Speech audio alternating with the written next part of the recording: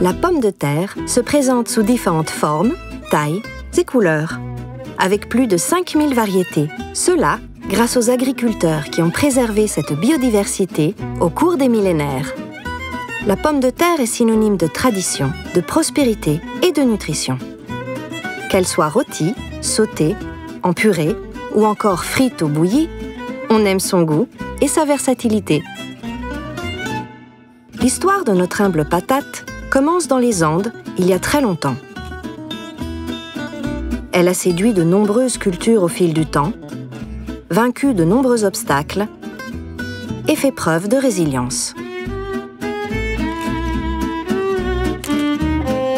Capable de nourrir des populations en forte croissance, de soutenir les moyens d'existence et de s'adapter au changement climatique, la formidable pomme de terre a gagné sa réputation d'aliment de base.